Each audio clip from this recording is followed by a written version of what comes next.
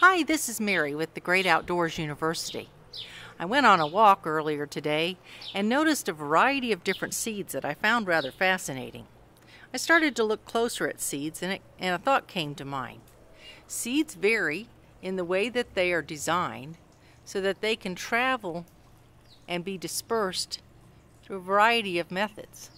Some of the seeds might fly through the air when the wind blows and other seeds might travel through the water and float to a new home.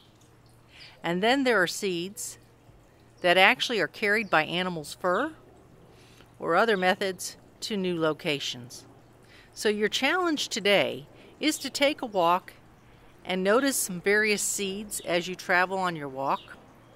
You might want to walk in a pair of socks. It's a great way to pick up some seeds. Um, and once you've looked at the seeds and studied them a bit, your challenge is to create a method for a seed. For example, a dried bean that you might have in your cupboard. Create a way that that dried bean can float on water to a new home.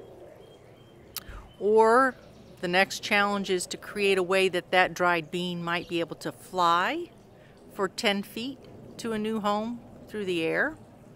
And last but not least, you create a way that the bean might be able to travel on an animal's fur or perhaps on a tennis ball or sock for five feet.